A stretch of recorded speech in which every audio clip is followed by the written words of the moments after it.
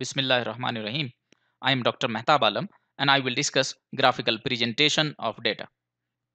Common statistical graph are histogram. What is histogram? It is a vertical bar chart of frequency. Then frequency polygon, it is a line graph of frequency. Ogive, it is a line graph of cumulative frequency. And stem and leaf plot like histogram but shows individual data value useful for a small data sets. What is histogram? As we know, a histogram is a graphical summary of a frequency distribution. The number and location of bar should be determined based on the sample size and the range of the data. This is the example of histogram. On one axis, it is frequency and another axis, it is class. So class and frequency and then this is called bar. This is bar 1, this is bar 1, bar 2, bar 3, 4, 5 and 6. It shows the data on a graph. How you can construct histogram? These are the process, these are the procedure to construct histogram.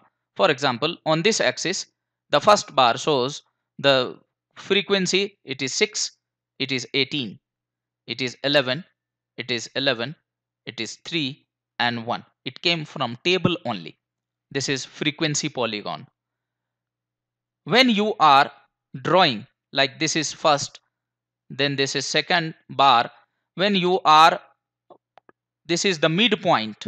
This is the midpoint of each bar.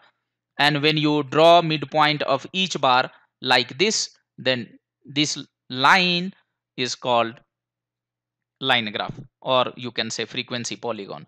Both is the same line graph and frequency polygon. How you can make ogive? Ogive when you draw cumulative frequency on graph it is called ogive. This is cumulative frequency given and the same shown here on the graph and it is called ogive.